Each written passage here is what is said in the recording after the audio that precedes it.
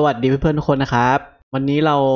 อยู่กับเกม Remnant นะ เดี๋ยวผมจะพาเพื่อนๆไปสู้กับบอส Gorefist นะครับ หรือก็คือไอ้ปังตอยักษ์นั่นเองนะบอสตัวนี้มันจะอยู่ใน dungeon แรกๆอะครับ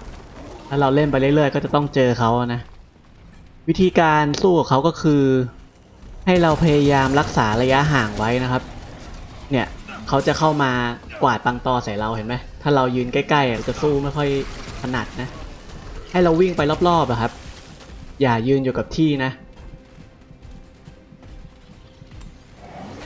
ใช้ทางต่างระดับขึ้นประโยชน์เห็นไหมครับ ผมจะล่อเข้ามาตรงบันไดเนี่ยก็ใช้ถ้าเป็นระยะใกล้ผมจะใช้ช็อตกันน่ะ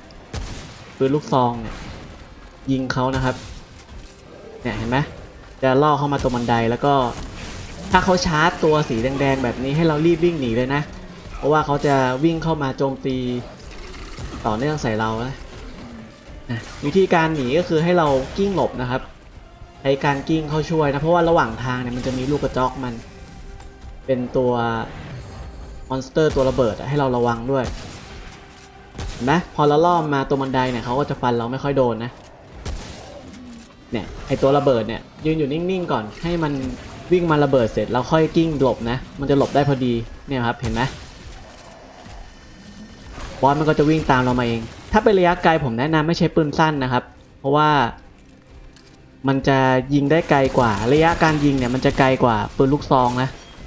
ปืนลูกซองให้เราใช้ระยะเผาขนเท่านั้น หรือระยะประชิดตัวครับ ถ้าเรากิ้งหลบเนี่ย กิ้งหลบตอนเขาฟาดปังตอมาได้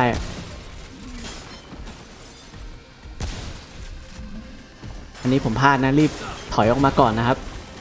อย่าเข้ามุมอัดเด็ดขาดนะ เพราะว่าบอสตัวเนี้ยมัน โจมตีแรงมาก พยายามวิ่งหนีไปเรื่อย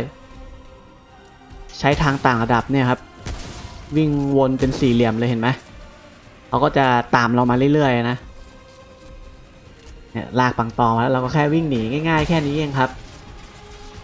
เจอลูกน้องมันระเบิดตัวก็กิ้งหลบเอานะน่ะเขาก็จะตามเรามาไม่ลดละเลย กิ้งหลบเห็นไหม เนี่ยเขาฟันไกลอยู่นะ เราต้องกะระยะเอาเองกิ้งลบปุ๊บเห็นไหมเกือบไม่ทันนะครับ โดนไปหน่อยนึง เรียบร้อย เน้นการกิ้งหลบเป็นหลักครับ คือรักษาระยะห่างระหว่างตัวเรากับอาวุธของบอสเนี่ย